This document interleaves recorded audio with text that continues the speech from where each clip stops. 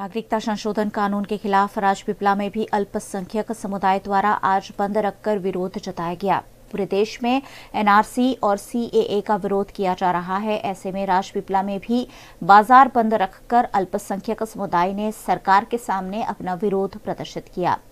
राजपिपला के मुख्य बाज़ार, शाक मार्केट रोड और दौलत बाज़ार में बंद का असर देखा गया। वहीं अन्य इलाकों में बंद की मिलीजुली असर देखी गई। बंद के चलते कड़ी पुलिस व्यवस्था भी राजपिपला में तैनात की गई।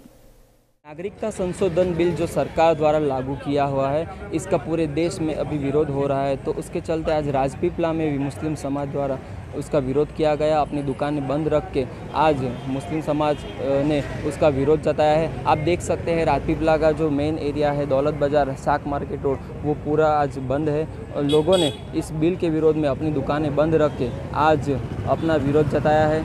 राजपीपला में कई दुकानें कुछ कुछ एरिया में सब खुली भी है, कुछ बंद भी है। इसके चलते आप कह सकते हैं कि यहाँ पे बंद की जो असर है वो कई इलाकों में दिखी है, कई इलाकों में नहीं दिखी है। मगर जो मुस्लिम जो इलाका है, वहाँ पे आज सारी दुकानें बंद है और सबने आज अपनी दुकानें बंद रख के और जिस जो नागरिकता संशोधन बिल है, उसका विरोध किया है। જુનેદ ખત્રી વીએનએમ ટીવી કે સાથ નર્મદા.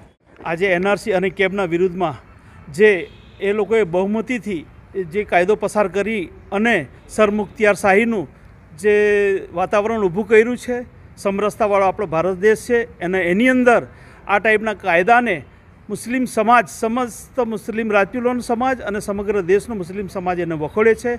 એના વિરુદ્ધની અંદર આજે અમે કલેક્ટરશ્રીને આવેદનપત્ર આપવા આવ્યા છે અને શાંતિપૂર્ણ રીતે અમે અહીંયા પોલીસ ખાતાને માન આપીને કે એમની સાથે મિટિંગ થઈ. અમે ધારતા તો પાંચ હજાર માણસની બી મિટિંગ થતી અને રેલી બી કરતા પણ એમણે કીધું કે ભાઈ, અમારે શાંતિને જાળવવી છે એટલે અમે શાંતિની સાથે ગાંધી ચિંધ્યા માર્ગે આજે આવેદનપત્ર આપ્યું છે કલેક્ટરશ્રીને મહામહિમ સુધી પહોંચાડવા માટે.